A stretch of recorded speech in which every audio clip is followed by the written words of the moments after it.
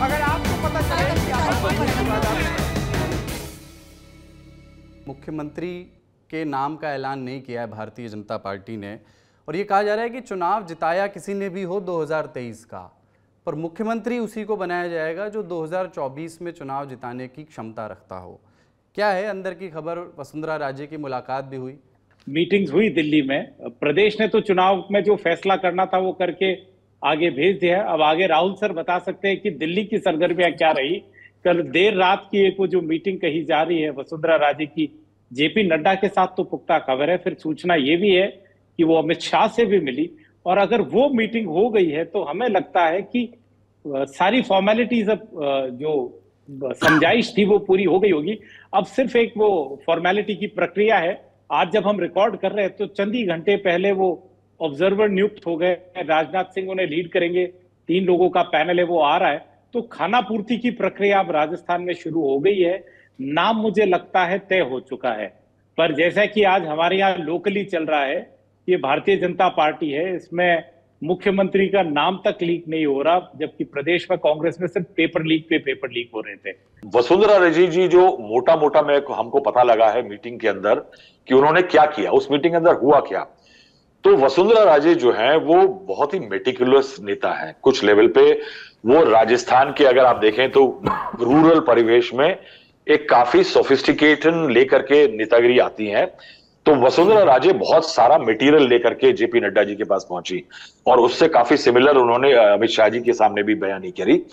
आ, वो हर लोकसभा क्षेत्र का एक पूरा चिट्ठा हिसाब लेकर के वहाँ गई थी कि किस लोकसभा क्षेत्र में भाजपा का प्रदर्शन सही था या खराब था?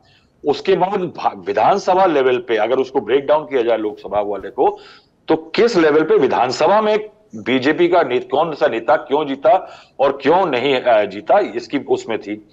उसके बाद उन्होंने क्या किया हुआ था कि जो नेता हारा या जीता है, उसकी पैरवी किसने की थी? अगर फला फला फला नेता हार गया और उसकी पैरवी एक्स नेता ने की थी ये लिस्ट भी वसुंधरा राजे अपने साथ लेकर के आई थी कि किसने टिकट दिलवाई और किसके दबाव के कारण ये आ, इसको टिकट मिला जो कि पार्टी हार गई। उसके बाद उन्होंने एक लंबा एक्सप्लेनेशन दिया अपने ऊपर लगे सभी आरोपों का। उनका कहना था कि उनका या उनके पुत्र की कोई मंशा नहीं थी बंदी की ना हो शो स्ट्रेंथ की। यानी बागी उम्मीदवारों के पीछे आ रहे जो उनके नाम को लेकर की बात कही जा रही थी वो उन्होंने पूरी सिरे से खारिज करी। लेकिन कुल मिलाकर के अगर आप देखें तो जब बाहर से निकली, जब बाहर मीटिंग के बाद रात को निकली तो उनकी बॉडी लैंग्वेज एक स्माइलिंग फेस को लेकर के एक अटकल हुई कि क्या वापस आ सकते हैं वसुंधरा राजे। लेकिन इस बात पे ये पता लगा है कि ना नड्डा साहब की तरफ़ से और ना ही अमित शाह जी की तरफ़ से।